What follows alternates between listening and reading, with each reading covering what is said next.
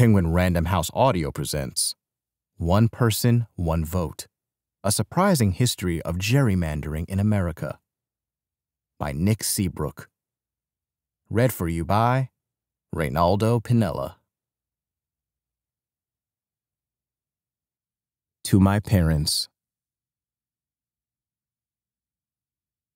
the conception of political equality from the Declaration of Independence to Lincoln's Gettysburg Address to the 15th, 17th, and 19th Amendments can mean only one thing one person, one vote.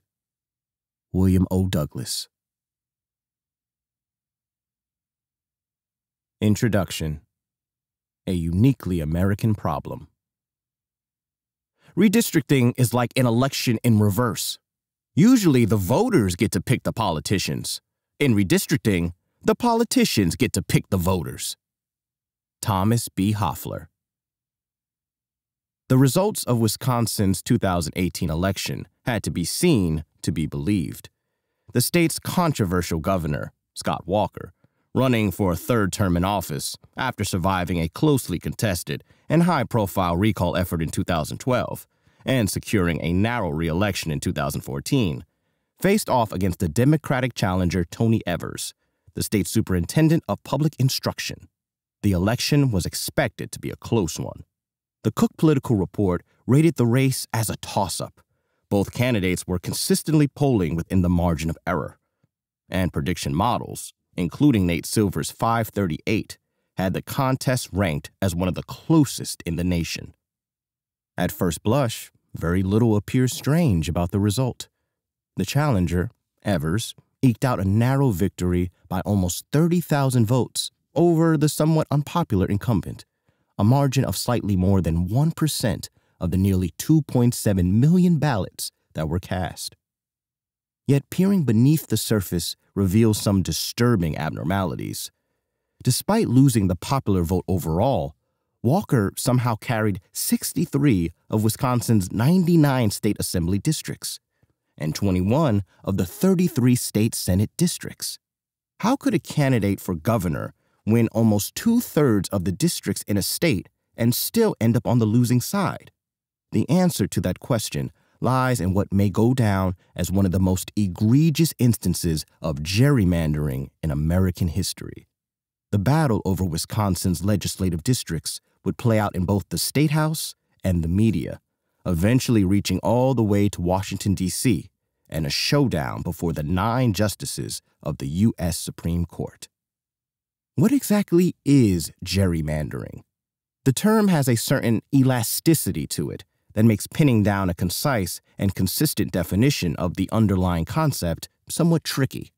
Writing in the early 20th century, Elmer Griffith, a University of Chicago PhD student whose treatise, The Rise and Development of the Gerrymander, may be among the most cited doctoral dissertations in history, Define the gerrymander thus Districts would not seem, therefore, to be gerrymandered unless they were established, especially for election purposes, and were formed intentionally in a particular manner for partisan advantage. As a working definition for the purposes of this book, Griffith's formulation is a good start, although perhaps a little more restrictive than I would like. Nevertheless, it serves as a decent jumping off point for the discussion to come by laying out the three quintessential elements of the practice. Gerrymandering requires intent. One can point to all manner of examples of unfairness, inequality, and injustice in the electoral process that occurred naturally, by accident of history, or through the aggregation of individual decisions about where to live, whom to vote for, and what rules to follow. These are not gerrymanders.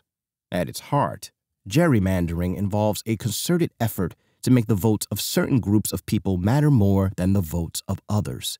It can be directed at an individual politician, at an entire political party, at voters in certain regions, or at those who hold specific political views. It is an effort to place a thumb on the scale of representative democracy, stacking the deck before an election has even taken place. Gerrymandering may not always be partisan, as Griffith's definition stipulates, but it is always political. those crafting the gerrymander do so with some concrete political goal in mind. And, as is the case in criminal law, it's often the intent that is the most difficult element to prove. Just as criminal defendants and their attorneys may cook up seemingly innocuous or innocent explanations for their conduct, so too may perpetrators of gerrymandering cloak their actions in subterfuge, obfuscation, or deflection. Demonstrating corrupt intent in these instances can be challenging, although sometimes the circumstantial evidence of the gerrymander itself may be sufficient to carry the burden of proof. Other times, the actions of those responsible are documented in an exquisitely detailed paper trail, the conspiracy laid bare for the courts, the media, and the voting public to peruse at their leisure. And, like the criminal defendant whose lawyer labors in vain to prevent him from running his mouth, those in the business of gerrymandering have a tendency to want to brag about their exploits. These are the easy cases. To give but one high profile example, when it comes to the recent gerrymander in Wisconsin, we have the receipts. Gerrymandering requires manipulation. It is a departure from business as usual, from the traditional district drawing principles of compactness, of contiguity, of following existing political boundaries, and of preserving the integrity of communities. These manipulations may be subtle, as in the case of a minor modification to a district line that suddenly places an incumbent on the other side, now forced to run for re election in hostile territory. Or they may be overt, as when an entire state is carved asunder with reckless abandon to serve the whims of the party presently holding power. The gerrymander is an unnatural creation, a violation of the norms, procedures, and conventions of a functioning democratic system. It can take the form of a minor violation, something akin to a speeding ticket on the highway of democracy, or a full fledged abomination, one that makes a mockery of even the imprimatur of accountability or responsiveness to the will of the people. To gerrymander is to distort, to corrupt, to turn the institutions that should be working on behalf of the people's interests into perversions that serve only the powerful, the moneyed, or the politically connected. Whenever political machinations over gerrymandering are afoot, no matter who wins, it's always the voter who loses.